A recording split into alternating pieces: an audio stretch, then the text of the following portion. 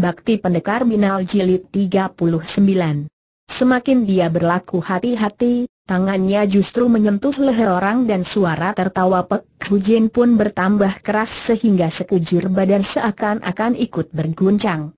Diam-diam bukaat gegetun, batinnya, mengapa perempuan tidak tahan geli? Entah mengapa, bila mana melihat Pek Hujin gemetar saking gelinya, tanpa terasa hatinya juga rada-rada guncang.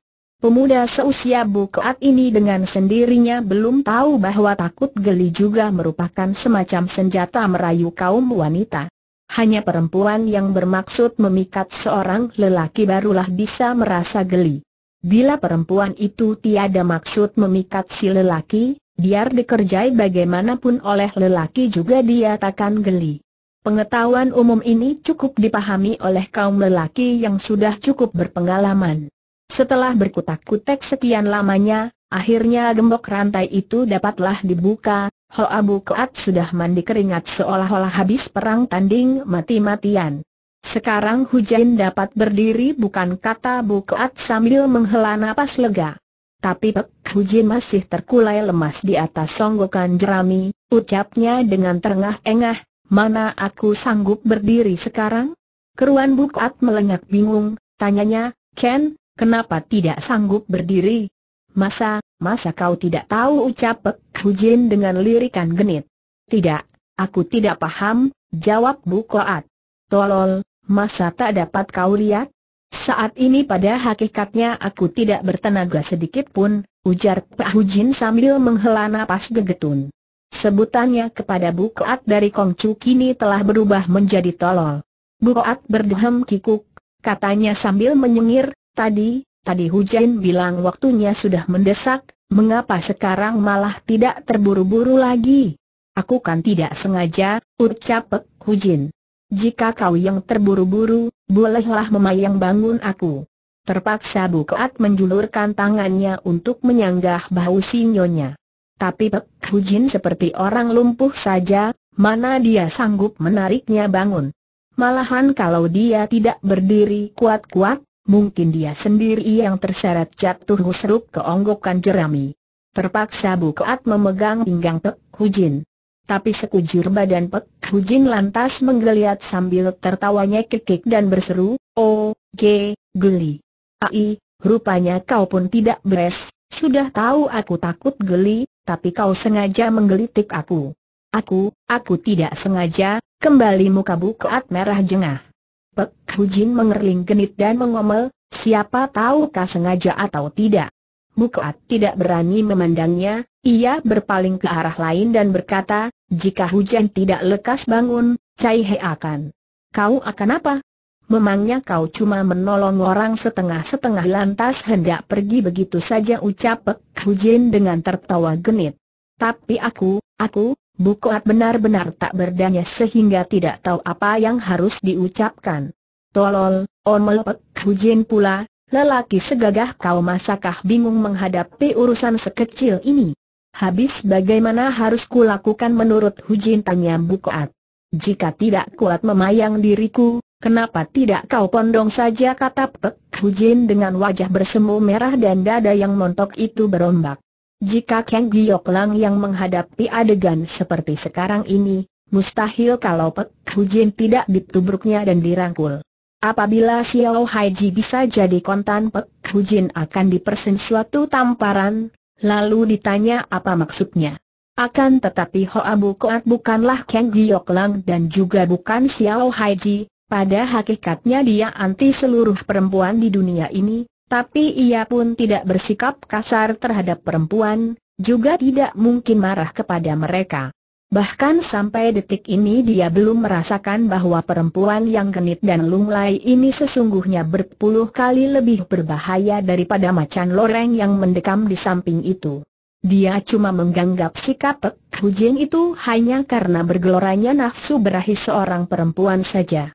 Ia merasa dirinya sekalipun tidak boleh menerima godaannya itu, tapi juga tidak boleh terlalu kejam padanya, sebab ia selalu merasa perempuan begini harus dikasihani.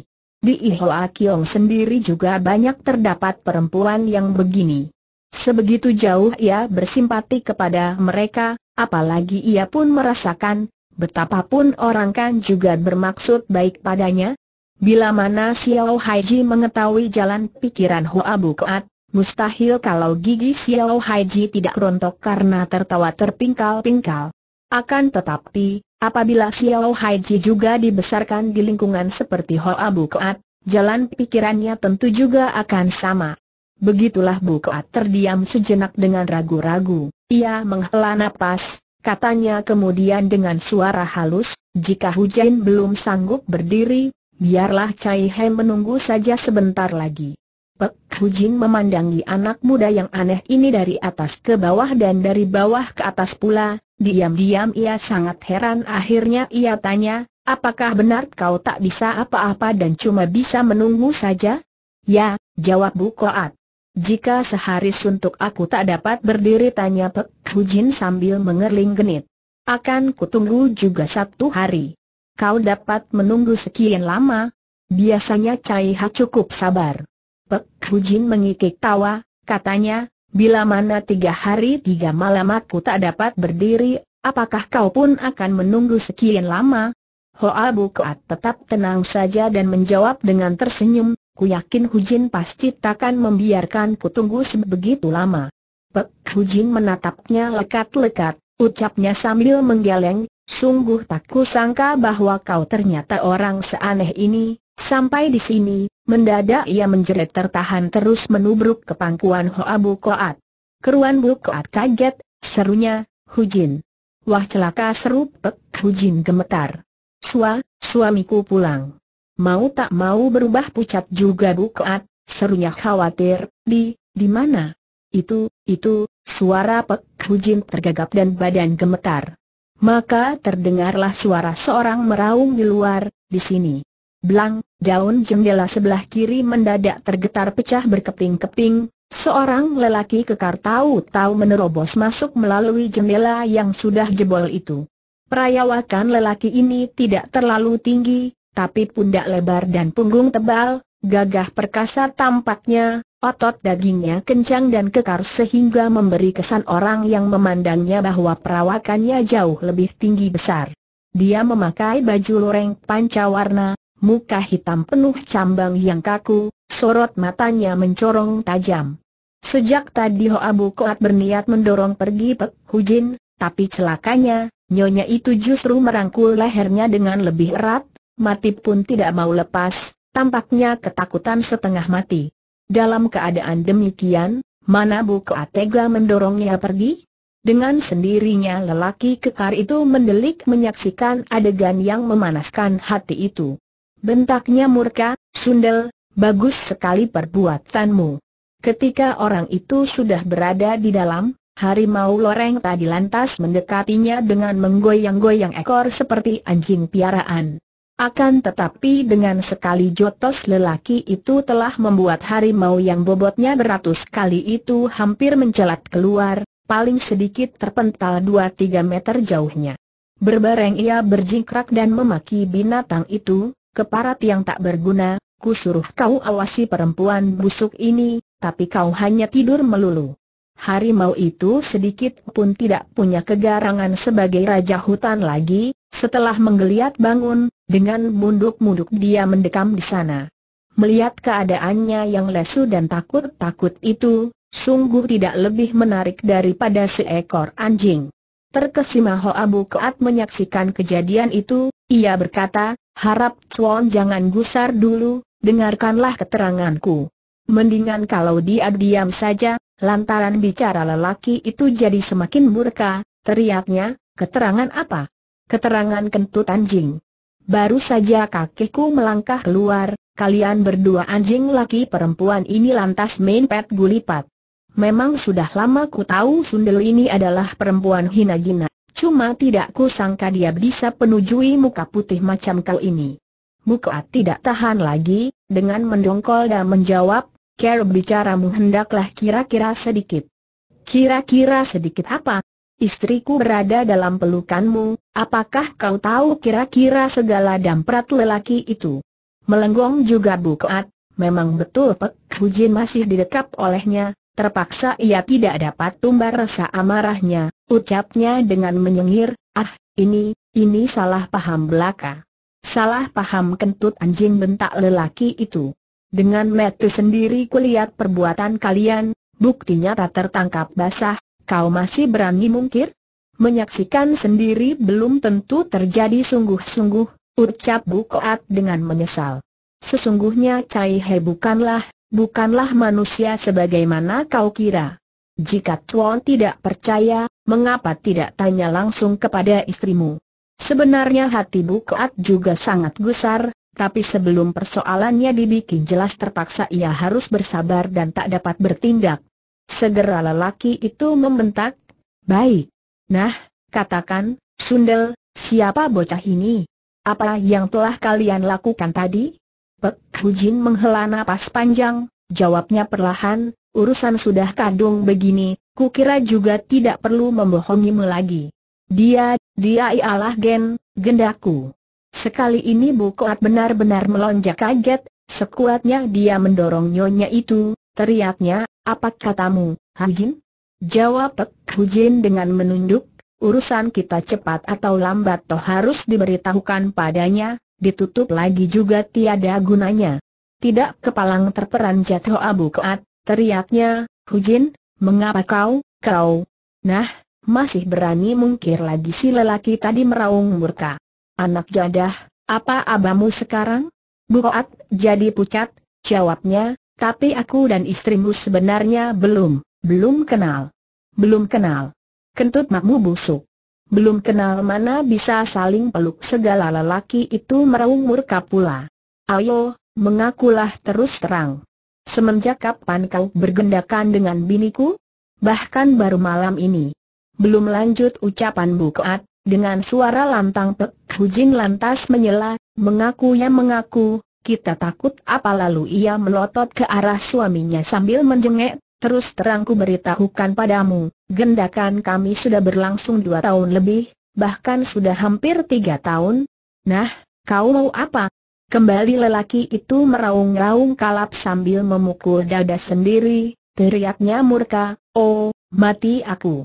Akan tetapi Bukat sedikitnya sepuluh kali lebih murka daripada dia, dengan terputus-putus ia berteriak, Pek Hujin, selamanya kita, kita tiada permusuhan apa-apa, kenapa, kenapa kau bicara begini? Oh, permata hatiku, apa yang kita takuti jawab Pek Hujin dengan suara lembut, urusan toh sudah kadung begini, akan lebih baik kalau kita membuka kartu dan bicara belak-belakan saja dengan dia. Saking dongkol dan gusarnya hingga tangan buka terasa gemetar, kau, kau, ia tidak sanggup bicara lagi. Bicara terus terang juga tiada gunanya, teriak lelaki itu dengan bengis. Bila kalian sepasang anjing buduk ini menghendaki mataku merem dan melek, huh, jangan kalian harapkan.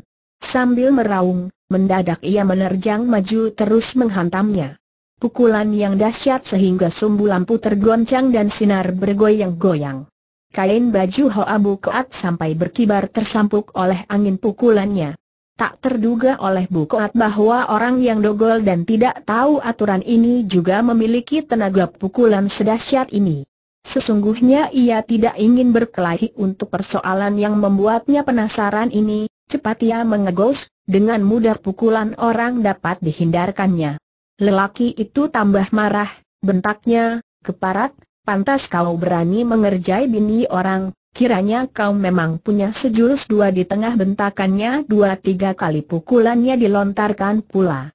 Dengan gesit Bukoat berkelit ke sana kemari, kalau bisa sungguh dia tidak ingin balas menyerang.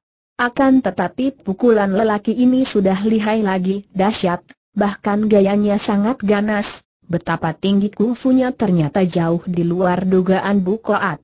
Ayolah, Balas serang dia demikian Pek Hujin berteriak-teriak di samping. Untuk apa mengalah padanya? Jika kau tidak membunuh dia, sebentar kau yang akan dibunuhnya. Sesungguhnya Hoa Bukat juga sudah keperet sehingga terpaksa harus balas menyerang. Segera telapak tangan kiri menepuk ke depan, dengan gaya indah tangan kanan lantas memutar setengah lingkaran ke samping. Inilah ilmu sakti Ihoa Ciap Giok yang termasyhur. Tak peduli siapa pun juga bila kena ditarik oleh tenaga putaran yang aneh ini, maka serangan yang dilancarkan akan seluruhnya berbalik menghantam pada tubuh sendiri. Tak terduga, mendadak lelaki itu meraung keras-keras seperti auman harimau, tubuhnya mendoyong mentah-mentah ke belakang, daya pukulannya yang dilontarkan tadi dihentikannya di tengah jalan. Padahal tenaga pukulannya telah dilontarkan sedemikian dahsyat, Tentu pertahanan bagian belakang sudah kosong. Kalau tenaga pukulannya sampai menghantam balik, maka pasti tidak tahan. Namun lelaki ini benar-benar sangat liai, dia mampu mengelakkan dengan gaya yang sukar dibayangkan. Sama sekali Buka tidak menyangka orang ini mampu mematahkan ilmu sakti Ihoa Ciap Giok yang hebat itu. Kecuali Yan Lam Tian, lelaki inilah orang kedua yang mampu melawannya. Tentu saja ia terkejut. Lelaki itu menatapnya dengan menyeringai, katanya, kiranya kau berasal dari Ihoa Kiong, pantas kau begini aneh. Tetapi melulu sedikit kemampuan ini masa kau dapat melawan aku pesan kun. Jika ibu gurumu disuruh menghadapi aku masih boleh juga. Pukulannya lantas dilancarkannya pula, tenaganya lebih kuat dan tambah buas seakan-akan ilmu silati Hoa Kiong yang maha sakti itu sama sekali tidak dihiraukan olehnya. Setelah serangan pertama tak dapat menundukkan lawan, Bukoat juga tidak berani sembarangan mengeluarkan lagi ilmu sakti Ihoa Ciap Giok, sebab ilmu ini tampaknya ringan saja permainannya, tapi sebenarnya sangat makan tenaga. Akan tetapi kini mau tak mau dia harus balas menyerang. Ilmu silat Pek San Kun yang lihai ini telah merangsang hasrat pertarungannya, mendadak bisa ketemu lawan tangguh, timbul juga keinginannya untuk menentukan kalah menang dengan lawan. Jin lantas bersorak di samping, betul, jangan takut padanya, demi membela diriku, pantas juga kau labrak dia. Seruan ini meski terasa tidak enak di telinga Hoa Bukat, tapi ibarat sudah berada di atas punggung macan, ingin turun juga tidak bisa lagi, sungguh dia tidak paham sebenarnya apa maksud tujuan Hujin itu. Sementara itu serangan pesan kun semakin dahsyat. Luekangnya cukup kuat, gaya serangannya berbahaya, semua ini belum menakutkan, yang paling hebat adalah perbawanya yang galak dan buas itu benar-benar seperti harimau hendak menerkam mangsanya dan membuat orang ngeri. Akan tetapi Bukoat juga melayani dengan tidak kurang lihainya, gerakannya gesit, gayanya indah, dia terus berputar kian kemari di seluruh ruangan, betapapun dahsyat pukulan Peksan Kun tetap tak dapat menyenggolnya. Kekasihku, baru sekarang ku tahu kau memiliki kepandaian sebagus ini, seru Pek Hujin dengan tertawa genit. Punya pacar seperti kau ini, apalagi yang ku takuti? Lekas kau binasakan tua bangka ini dan kita akan menjadi suami istri abadi dan hidup dengan aman tenteram. Makin omong makin menusuk telinga, tapi Hoa Bukoat tidak dapat menutup kuping, mau tidak mau ia harus mendengarkannya. Meski ia cukup tenang, tidak urung juga rada terganggu konsentrasi pikirannya. Sedangkan pukulan Peksan Kun yang mahadasyat itu justru tidak mengizinkan dia lengah sedikit pun. Mendadak Pak Hujin menjerit khawatir, Hi, awas, serangan berikutnya dengan cakar harimaunya akan mencengkeram hulu hatimu. Benar juga, di tengah raungannya yang keras, tangan pesan kun yang mirip cakar harimau itu betul-betul mencengkeram ke dada Hoa Koat. Serangan ini tidak kelihatan liai, Bukoat hanya menyurut mundur selangkah saja dan serangan itu pun terhindar. Diam-diam ia merasa heran, ia tidak tahu mengapa Pek Hujin mesti menjerit mendadak. Ia tahu di balik semua ini pasti tersembunyi suatu permainan. Namun keadaan tidak memberi kesempatan baginya untuk merenungkan hal itu, baru saja kakinya melangkah mundur, antara belakang dengkul kanan kiri masing-masing telah terkena satu titik MG atau senjata rahasia. Rasanya seperti digigit nyamuk, tapi orangnya lantas loboh terjungkal. Senjata gelap itu ternyata sudah memperhitungkan dengan jitu ke mana dia akan mundur dan seakan-akan sudah menantikannya di situ. Suara sambaran senjata rahasia itu sangat lirih, ditambah lagi jeritan ngeri Pek Hujin dan raungan Pek San Kun, tentu saja Hoa Bukoat tidak tahu. Bahkan setelah roboh dia masih tidak tahu bahwa yang menyambitkan senjata rahasia itu ialah Pek Hujin sendiri. Sementara itu Pek Hujin telah menubruk maju dan merangkul leher Pek San Kun sambil berseru dengan terengah-engah, tadinya kusangka telah jatuh cinta pada orang lain, tapi setelah kalian berkelahi baru ku yakin yang benar-benar ku cintai tetaplah engkau. Aku dapat membunuh seluruh lelaki di dunia ini, tapi tidak dapat menyaksikan orang lain mengusik sebuah jarimu. Buat menghela napas, ia memejamkan mata dan diam-diam mengeluh, oh, perempuan. Baru sekarang ia mengerti sebab apa Xiao Haiji merasa sakit kepala terhadap perempuan. Didengarnya suara pelok yang keras, Suara muka digampar, terdengar Pak Hujin menjerit perlahan. Jelas dia kena ditempleng dengan keras oleh Pek San Kun. Menyusul terdengar pesan Kun mengumpat dengan gusar, kau perempuan hina-gina, perempuan busuk. Memangnya baru sekarang kau sadar yang kau cintai adalah diriku setiap bicara satu kalimat, berbareng ditampar lagi satu kali dan Pek Hujin pun lantas menjerit ngeri. Diam-diam Bukaat mengeleng kepala. Ia merasa makian Pek San Kun itu memang tidak salah, betapapun Pek Hujin itu memang perempuan murahan. Meski dia tidak setuju lelaki memukul perempuan, tapi ia pun merasa nyonya ini memang perlu dihajar secara setimpal, cuma ia sendiri tidak sudi memandangnya lagi. Padahal kalau sekarang dia mau membuka mata dan memandang ke sana, maka pasti tidak akan terheran-heran. Suara napas Pek Hujin seperti sangat menderita, tubuhnya meringkuk menjadi satu, namun air mukanya tiada sedikit pun mengunjuk rasa sakit, malahan sorot matanya memancarkan cahaya aneh, cahaya kepuasan. Setiap digampar oleh tangan Pek San Kun, sama sekali dia tidak menghindar, bahkan seakan-akan sengaja memapak pukulan itu.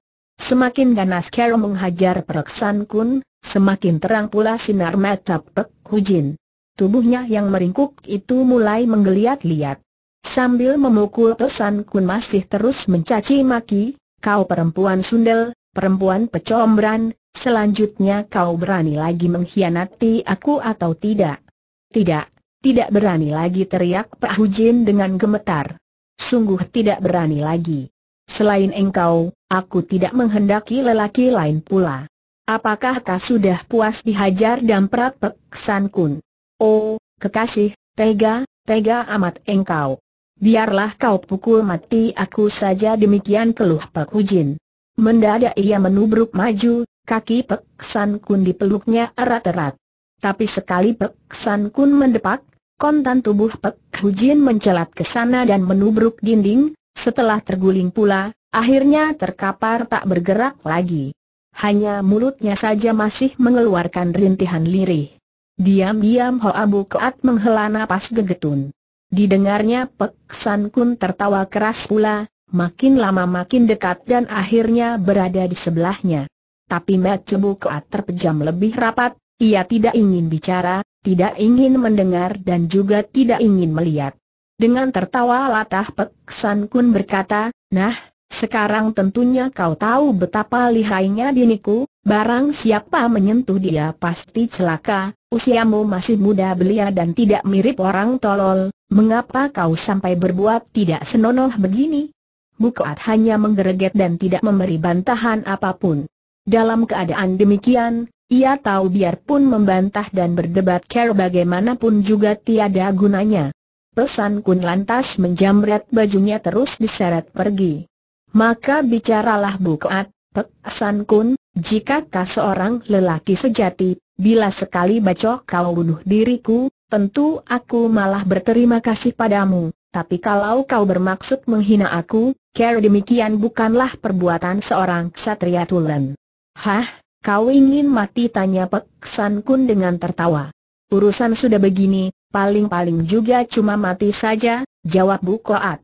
Lalu bagaimana bila aku tidak mematikan kau kata Pek San Kun. Buat menghela napas, ia memejamkan mata dan tidak mau berucap pula. Ia merasa tubuhnya ditaruh di atas sebuah dipan oleh Pek San Kun, lalu dibalik sehingga bertiarap, menyusul celananya lantas dipelorotkan. Keruan Bukoat kaget dan berteriak, Hi, apa, apa kehendakmu sebisanya ia berusaha mendongak dan membuka matanya. Tertampak pesan kun berdiri di samping Dipan sambil cengar-cengir, air mukanya tidak menampilkan maksud jahat, tangannya memegang sepotong besi tapal kuda, katanya, racun senjata rahasia biniku ini sangat keji, sampai-sampai Yan Lam Tian dulu juga pusing kepala menghadapinya. Sekarang kedua kakimu masing-masing terkena sebuah senjata rahasianya, jika tidak ku sedot keluar dengan besi sembrani ini, maka selama hidupmu ini jangan harap akan dapat berjalan pula. Kejut dan sang si bukat, tanyanya, Meng, mengapa kau menolong aku? Pesan Kun mendelik, ia balas bertanya, mengapa aku tidak boleh menolongmu? Tapi, tapi, bukat tergegap. Hahaha. Memangnya kau kira aku mau percaya kepada ocehan biniku tiba-tiba pesan kun bergelak tertawa pula. Dalam pada itu dua buah jarum kecil selembut bulu kerbau telah disedotnya keluar dengan besi sembraninya dari belakang dengkul Hoa Bukaat. Meski lembut sekali jarum itu, namun ketika menancap di siku dengkul Bukaat telah membuat tenaganya hilang sama sekali, bahkan satu jari pun tak dapat bergerak. Kini setelah jarum itu dikeluarkan, secara ajaib tenaga Bukaat lantas pulih seketika, segera ia melompat bangun. Jika kau tidak percaya ucapan istrimu, mengapa, mengapa kau tadi marah-marah dan memukuli dia tanya Bukaat dengan terbelalak. Pesan Kun angkat pundak, jawabnya dengan tertawa, aku sengaja berbuat begitu baginya. Kau sengaja seru Bukaat terheran-heran. Ya, masa kau heran? Buat menghela napas, ucapnya, terus terang, selama hidupku belum pernah kulihat kejadian yang lebih aneh daripada kejadian tadi. Bahwa Pek Hujin dirantai oleh suaminya sendiri seperti hewan sehingga perlu minta pertolongannya, hal ini sudah luar biasa. Setelah Pek Hujin dibebaskan dari belenggu, Nyonya ini malahan memfitnah dan menyerangnya dengan jarum berbisa, ini pun sama sekali tak terduga. Dan sekarang Pek San Kun berbalik menolongnya dengan mengeluarkan jarum beracun itu serta memberitahukan apa yang terjadi sesungguhnya. Semua ini membuatnya tidak habis mengerti dan bingung. Pesan Kun lantas tepuk-tepuk pundaknya dan berkata, Anak muda, aku pun tahu kau telah dibuat bingung, duduk dan biarlah ku ceritakan lebih jelas. Ya, Cai Hei memang ingin mohon penjelasan, Buka tersenyum pahit. Pesan Kun lantas menghela napas gegetun dan juga tersenyum getir, tuturnya, kau tahu, di dunia ini ada setengah orang yang berwatak aneh, bila mana orang menghormat dan mencintai dia, maka dia akan menderita malah. Sebaliknya kalau dia diperlakukan secara kasar, secara sadis, dia justru malah merasa senang dan nikmat. Tentu saja Bukaat heran juga geli, katanya, masa di dunia ini ada orang macam begini? Sudah tentu ada, Pek Sanku menyengir. Istriku itulah salah satu di antaranya. Oh baru sekarang Bukoat paham. Sungguh sukar dipercaya bila ku ceritakan, tutur pesan kun pula, hidup istriku ini tiada mempunyai kesukaan lain, hobinya cuma minta dipukuli. Bila ku pukul dia, makin keras makin senang dia. Bahkan esoknya semangatnya akan berkobar-kobar dan wajah berseri-seri. Sebaliknya kalau beberapa hari tidak dipukul, maka dia akan lesu, malas, makan minum rasanya tidak enak, bahkan bicara pun sungkan. Buat melongo kesema mendengarkan cerita yang aneh ini. Masa, masa dia bisa begitu tanyanya kemudian. Konon sejak kecil dia sudah begitu. Sejak kecil dia suka orang lain memperlakukan dia dengan sadis, bahkan ia sendiri pun berbuat kasar atas dirinya sendiri. Sampai usia sudah lanjut sifatnya ini tidak berubah, bahkan bertambah menjadi-jadi, sampai-sampai tempat tinggal bisa juga tidak betah dan sengaja mengatur tempat tinggalnya serupa kandang kuda, malahan minta aku membelenggu dia dengan rantai. Oh, kiranya ia sendiri yang minta diperlakukan begitu, tadinya Cai He mengira. Memangnya kau kira aku ini orang yang tak berperi kemanusiaan? Soalnya Cai Ha tidak pernah membayangkan di dunia ini ada orang yang sukarela diperlakukan sebagai hewan, ujar Bukoat dengan gegetun.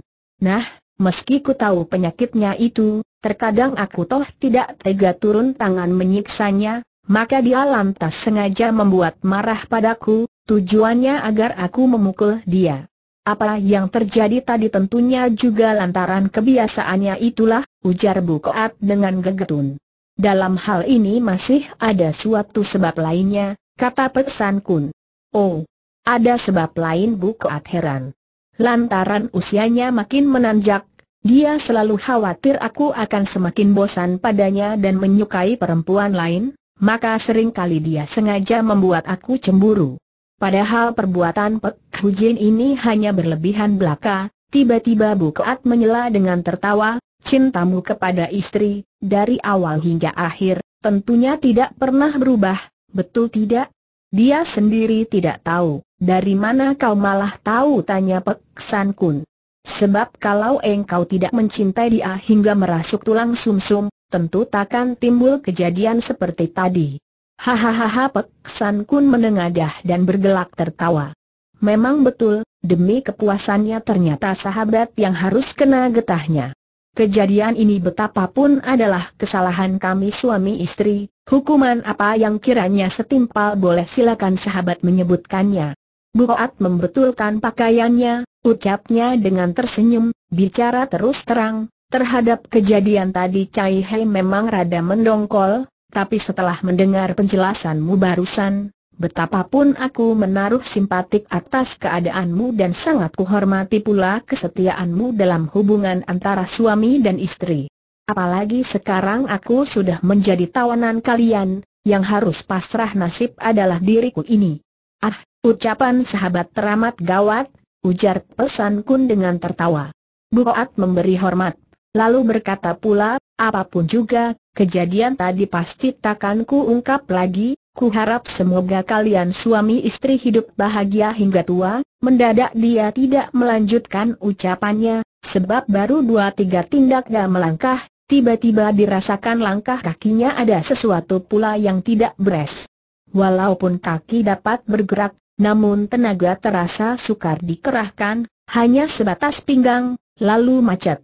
Tapi Pek San Kun masih memandangnya dengan tertawa, ia membalas hormat dan menjawab, apakah sahabat hendak berangkat sekarang? Buat menarik napas panjang-panjang, jawabnya kemudian, barangkali engkau ada pesan lain pula? Apa pun juga aku merasa tidak enak terhadapmu, mana berani ku bikin repot padamu lagi jawab Pek Kun. Jika begitu, mengapa diam-diam kau mengerjakan sesuatu di bagian pinggangku tanya Bukoat. Pesan Kun seperti terkejut dan berseru, Hi, apa betul? Ah, mungkin tadi waktuku sedot jarum itu, karena kurang hati-hati sehingga jarum itu kembali menancap di sesuatu hiatomu lagi. Ya, rasanya seperti di bagian Jiao Yau Hiat, kata Bukoat dengan tenang. Pesan Kun tampak merasa khawatir, ucapnya sambil menggosok-gosok tangan, wah, repot jika berada di dekat Jiao Yau Hiat, Sungguh aku menjadi takut untuk mencabut pula jarum itu, bila kurang hati-hati, bisa jadi jarum itu tambah menyusup lebih dalam ke tubuhmu, maka malaikat dewata sekalipun tidak sanggup menolongmu, terpaksa engkau harus tersiksa tertawa latah selama tiga hari dan akhirnya akan binasa. Muka terdiam sejenak, katanya kemudian, jika demikian, terpaksa kumohon diri untuk mencari jalan lain saja. Tapi kalau kau terus bergerak, jarum lembut itu pun akan bergerak mengikuti jalan darahmu dan langsung masuk Jiao Yau Hiatmu, biarpun kau akan bertindak dengan hati-hati juga takkan melangkah lebih jauh daripada 50 tindak. Buat berhenti dan balik tubuh perlahan, dengan tenang ia tatap orang, sampai lama sekali barulah ia menghela napas panjang, ucapnya dengan tersenyum getir sambil menggeleng kepala, Tindak tanduk kalian suami istri sungguh sukar dimengerti. Bahwa istrimu tidak suka jadi kuda, sedangkan engkau. Bila mana sahabat merasakan ada sesuatu yang sukar dimengerti atas diriku, silakan bicara terus terang, pasti akan kujelaskan, ucap Pek Kun dengan tertawa.